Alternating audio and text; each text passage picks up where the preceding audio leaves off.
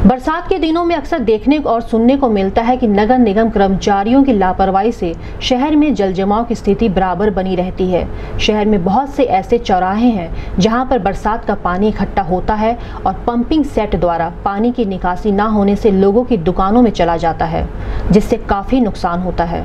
रविवार को ही बरसात के दौरान नगर निगम के कर्मचारी सतर्क रहे और पंपिंग सेट चलाकर पानी की निकासी करते रहे, जिससे जल जमाव की समस्या कम ही देखने को मिली। इस दौरान इलाही बाग हावड़ बाँध और निजामपुर पंप सक्रिय मिला।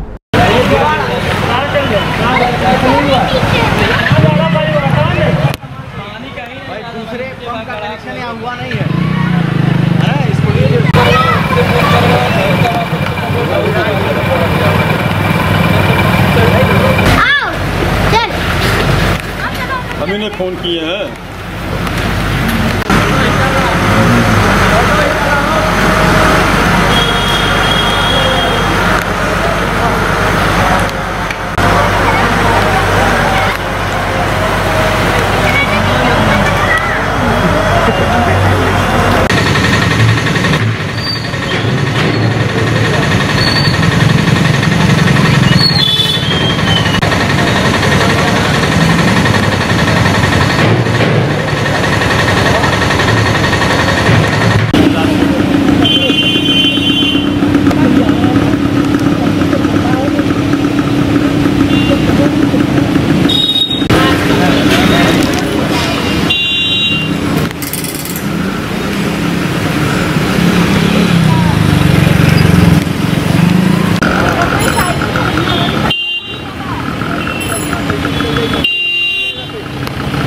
Chicago.